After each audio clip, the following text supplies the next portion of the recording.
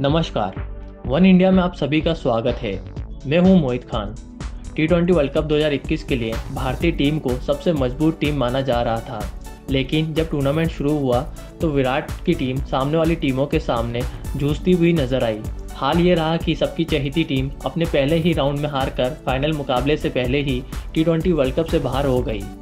अब जब T twenty world cup 2021 को बीते हुए कुछ समय हो गया है तो टीम के पूर्व कप्तान और मौजूदा समय के बीसीसीआई प्रेसिडेंट सौरव गांगुली ने इस महत्वपूर्ण टूर्नामेंट पर अपना बयान दिया है। उन्होंने टी ट्वेंटी वर्ल्ड कप 2021 में खिलाड़ियों के प्रदर्शन को बीते पाँच सालों में आईसीसी टूर्नामेंट का सबसे खराब प्रदर्शन बताया है। गांगुली ने मीडिया से बात करते हुए कहा, ईमानदारी से कहूँ तो भारतीय टीम साल 2017 से पहले बिल्कुल ठीक थी। पड़ोसी देश पाकिस्तान ने जब भारतीय टीम को ओवल में मात दी, उस समय में कमेंट्री पैनल का हिस्सा था।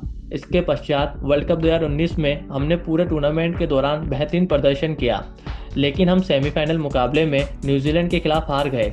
गांगुली ने कहा, हाल ही में ख़त्म हुए टी ट्वेंटी वर्ल्ड कप में हमने जिस तरह से खेला, मैं उससे थोड़ा निराश हूँ। मुझे लगता है कि पिछले चार से पाँच वर्षों में जो मैंने क्रिकेट देखा है, उसमें ये सबसे ख़राब प्रदर्शन था।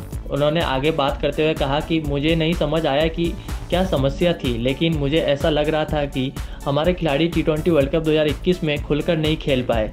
उन्होंने आगे कहा कभी कभी बड़े मुकाबलों में ऐसी स्थिति देखने को मिलती है, ऐसे मौक़ों पर खिलाड़ी फंस जाते हैं। टीम इंडिया को पाक और कीवी के खिलाफ जब खेलते हुए देख रहा था, उस वक्त लग रहा था जैसे टीम अपना 15 परसेंट क्षमता के साथ मैदान में उतरी है। बता दें आईसीसी पुरुष टी ट्वेंटी वर्ल्ड कप 2021 के शुरुआती दो मुकाबलों में भारतीय टीम ने पाकिस्तान और न्यूजीलैंड के खिलाफ खेले थे। टीम इंडिया को अपने इन दोनों मुकाबलों में बुरी तरह से हार मिली थी। इस खबर में फ़िलहाल इतना ही। अपडेट के लिए आप बने रहें वन इंडिया के साथ।